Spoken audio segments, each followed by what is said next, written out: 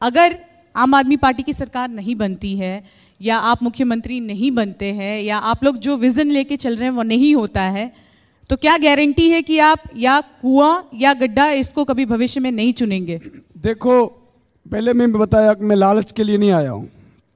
और आप शुभ शुभ बोलिए।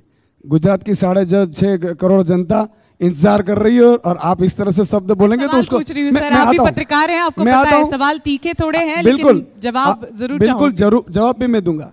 साढ़े छह करोड़ जनता को दुख होता है। जब ये लोग बोलते हैं ना कि आम आदमी पार्टी की सरकार नहीं आ रही है तो उनको दुख होता है। क्यों? क्योंकि रात दिन वो इंतज़ार कर रहे हैं। अच्छा दूसरा आप कुएँ और खड्डे की बात की। आपने पहले भी बोला मेरे पास दोनों तीनों पार्टियाँ आई थी। अगर मुझे सत्ता ही चाहिए तो मैं सत्ता के पास जाता मैं गुलाम थोड़ी ना हूँ। मैं वहाँ खड़ा रहता हूँ, जहाँ लाइन मेरे पीछे शुरू होती है। और सवाल ये है कि मैं संघर्ष करने वाला आदमी हूँ, जो अच्छा करता है ना, वो भले छोटा सा छोटा हो, मैं उसके साथ हूँ। मुझे ज़रूरत नहीं है कि मैं सत्ता के तक पहुँच जाऊँ, लेकिन मुझे ज़रूरत यह है कि मैं अच्छे आदमी के साथ हूँ, अच्छी पार्टी के साथ हूँ, जो बच्चों के लिए सोचती है, जो किसानों के लिए सोचती है, जो कर्मचारियों के लिए सोचती है। तो इसलिए आप चिंता मत करिए, हम सर कटा सकते हैं, लेकिन सर झुका नहीं सकते हैं। अच्छा चलिए आपने कहा सर कटा सकते हैं सर झुका नहीं सकते हैं। पाँच ऐसी सीटें आपको लगता है कि इस बार झाड़ू का जादू चलेगा और झाड़ू वहाँ चल जाएगा? पाँच सीटें हमारी जनता को गिना दीजिए जहाँ आपको पूरा विश्वास है कि इस बार आप लोग सुपड़ा साफ़ करेंगे। पाँच सीट के आपको अभी पंद्रह सीट में गिना दूँ? गिना दूँ? पाँच सीट गिना दीजिए। हाँ ठीक है। कतार का हम जीत रहे हैं करण जीत रहे हैं ये सूरत की गिना रहा हूँ। वराछा जीत रहे हैं करण कामरेज जीत रहे हैं ये चार हुई।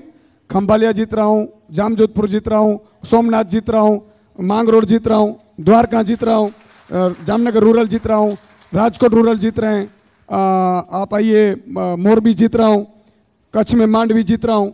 कितनी गिनाओ बताओ? ये तो अभी सौराष्ट्र की हुई। ये ये तो आपने वो सीटें गिना दी, अपनी भी सीट आपने जोड़ ली इसमें, लेकिन आपके ही नेता, सूरत से हमने देखा कि उन्होंने नॉमिनेशन वापस ले लिया। इस तरह की घटनाएँ होती है, मनोबल क्या असर पड़ता है आप लोगों क्या पार्टी पर? बिल्कुल लोगों में बहुत गुस्सा है। भाजपा वालों ने जो किडनैप करके उनको परेशान किया है, मुझे लगता है कि ईश्वर उसको जवाब देगी आठ तारीख को भाजपा को। भाजपा को ऐसा नहीं करना चाहिए। यार ऐसा है तो आप चुनावी खत्म कर दीजिए ना लोकशाही खत्म कर दीजिए, आपका राज है करो, मज़ा करो। वो सालों से सालों तक चुनाव क्या ज़रूरत है। आप उनको डराते हैं, धमकाते हैं। क्या लोगों को पता नहीं चलता है कि भाजपा का ये खेल है? ईशुदान गढ़वी, गोपाल, इटालिया बच्चों का पेपर लीक होता है, उसके चलते कमलम में जाते हैं। आप बोलिए, शराब पी कर आए हैं यार कमलम के। जनता को इतना तो पता होता है कि आंदोलन करने जाते तो कोई शराब नहीं पीता है और दिन में नहीं पीते हैं। ये भी उन लोगों को मालूम नहीं। कहने का तात्पर्य कि भाजपा के 8 दिसंबर तक सभी कुछ होगा। हमारे कार्यकर्ताओं को डराना, धमकाना, हमला करना, मेरे पे भी जानलेवा हमला किया था।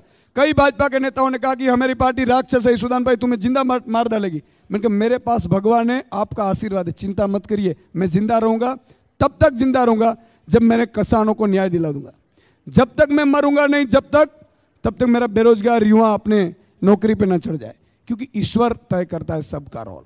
और चिंता मत करिए भाजपा वाले ऐसे करेंगे। आपने देखा होगा भाजपा ने कितनी सरकारें गिराई महाराष्ट्र की सरकार गिराई गिराई? आपने देखा?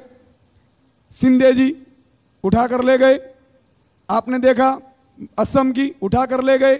आपने देखा शिवराज पाटिल। तो मैं ये बोल रहा हूँ, मध्य प्रदेश, क्या ज़रूरत है यार? खत्म कर दो लोकशाही। कर दो। शासन आपका। एक ही राज, खर्चा भी कम और हम भी अपने अपने काम पे लग जाएँ।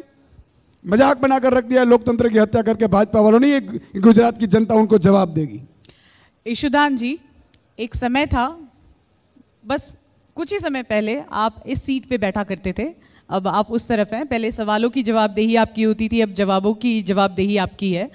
अ, मेरा सवाल ये है कि पत्रकारिता से राजनीति कितना अलग और कितना आपके लिए अलग सा अनुभव है या क्या अलग आप देखते हैं? देखो मेरे कोई सही बताऊँ मेरे फैमिली में सरपंच का सदस्य भी नहीं रहा कोई। और पत्रकारिता में एक लग्जरी लाइफ होती है। खाना टाइम पे होता है। आ, जब मैं स्टेज पर था मतलब कि चैनल हेड था। तो फ़ील्ड वालों के साथ ऐसा नहीं होता फ़ील्ड वर्क फ़ील्ड वर्क का था मेहनत करता था लेकिन फिर भी टाइम पे खा लेते थे। पर्सनल लाइफ अपनी होती है। यहाँ कुछ नहीं होता है पर्सनल लाइफ जैसा। यहाँ इतनी मेहनत होती है आपको नहीं मानोगे। मैं पंद्रह महीने में एक लाख पंद्रह हज़ार किलोमीटर का टूर किया है। मैंने गाड़ी में सोता हूँ गाड़ी में खाना खाता हूँ। और मतलब टूरिंग ही होती है। मेरी फैमिली को मुझे दो दिन मनाने में लगे थे। उन्होंने कहा कि यार पॉलिटिक्स में हम क्यों जाएँ? हमें क्या ज़रूरत है? क्या करना है? परिवार अब साथ है? अब तो साथ है। दो दिन मैंने मुझे मनाना पड़ा इसलिए मनाना पड़ा। उन्होंने कहा कि देखो हम ये गंदी राजनीति है। मैंने कहा कि मेरा अभी उनचालीस का था तब अड़चालीस का हूँ। मैंने कहा कि उनचालीस का साल है। सात साल के बाद अगर ईश्वर एक दिन भी आपको देता है ना तो वो बोनस है। अब मैंने चालीस साल आप उनचालीस साल आपके लिए जी लगा। अब मुझे बीस साल मुझे किसी और के लिए जीने दो। क्या फ़र्क है? और कल ना करे कुछ हो जाए तो आपका बच्चा रहे ना रहे, लेकिन मुझे तभी शांति मिलेगी जब मैं गरीबों को न्याय दिला पाऊँगा, गरीबों के लिए लड़ूँगा। तब मेरी फैमिली मानी और आज मैं आपके बीच हूँ।